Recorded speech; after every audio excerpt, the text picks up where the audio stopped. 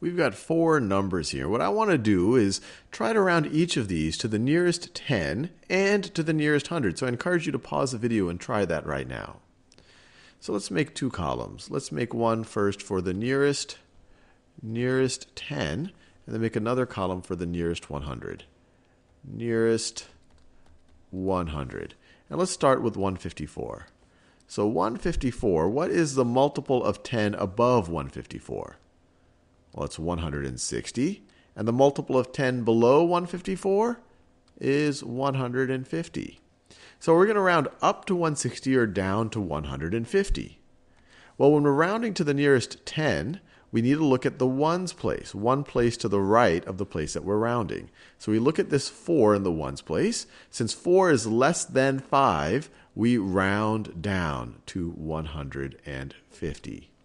Now let's think about that same number rounding to the nearest hundred. So 154 to the nearest hundred. So now we need to think about if we were to round up, what's the multiple of 100 above 154? 160 isn't a multiple of 100. The multiple of 100 above 154 is 200. What's the multiple of 100 below 154? Well, that's going to be 100. So if we're going to round to the nearest hundred, so we look at the hundreds place, we'll look one place to the right of that, which is the tens place. If that place is 5 or greater, we round up. If it's less than 5, we round down. Well, this is clearly 5 or greater, so we round up. So this is interesting. When we rounded to the nearest 10, since we had a 4 in the ones place, we rounded down. But when we rounded to the nearest hundreds, since we had a 5 in the tens place, we rounded up to 200. Let's do some more of these. This is fun. So 4,674. 4,674. The multiple of 10 above that is 4,680. The multiple of 10 below that, 4,670. Remember, we're concerned only with the multiple of 10. So do we round up or down? Well, we're thinking about rounding the tens place. So it's, that's why it's either going to be an 8 if we round up or 7 if we round down. To figure that out, we look at the ones place. The ones place is 5 or greater, we round up. If it's less than 5, we round down. It's once again less than 5, so we round down to 4,670. Now let's round the same number to the nearest hundred. 4,674. What's the multiple of 100 below this?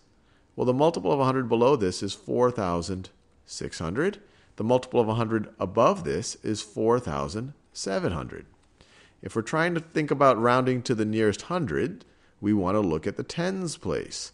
The tens place is 5 or greater, so we round up to 4,700.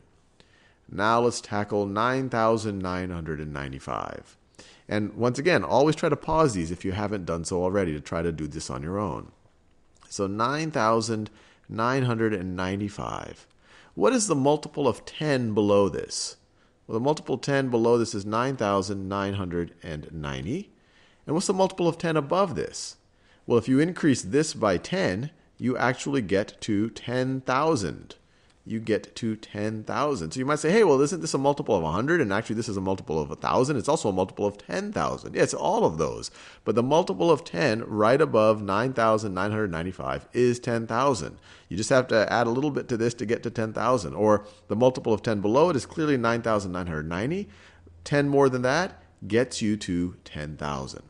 So how do we round this? Well, once again, if we're rounding to the nearest 10, we want to look at the ones place. The ones place is 5 or greater, so we round up to 10,000. Now let's round to the nearest hundreds. We should be getting used to this now. To the nearest hundreds. What is the hundreds below this? Well, it's 9,900. 9,900. What is the 100 above this? The next multiple of 100 above this? Well, if you add 100 to 9,900, you once again get 10,000. So how do we decide whether to round up or down? Well, we don't look at the ones place anymore. We're now rounding to the nearest hundred. So we want to round to the nearest hundred. To do that, we look one place to the right, which is the tens place. If this is five or greater, we round up. If it's less than five, we round down. It is five or greater, so once again, we round up to 10,000. Now we have one more 8,346. So 8,000, 8,346. The tens place, or the, the multiple of 10 below it, is 8,340. Multiple of 10 above that is 8,350. If we're going to round to the nearest 10, we need to look at the ones place. The ones place is 5 or greater, so we round up. Now let's round to the nearest 100. 8,000. 346.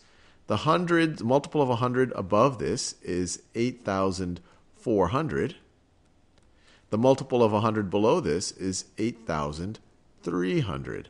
Notice we're rounding to the nearest hundreds. If we were to round up, the hundreds place becomes a 4. If we were to round down, the hundreds place stays a 3, but it's followed by zeros. If we want to round to the nearest hundreds, we need to look at the tens place. The tens place here is less than 5, so we round down to 8,300. Notice again, when we rounded to the nearest tens, we rounded up to 8,350. When we round to the nearest hundreds, we rounded down to 8,300.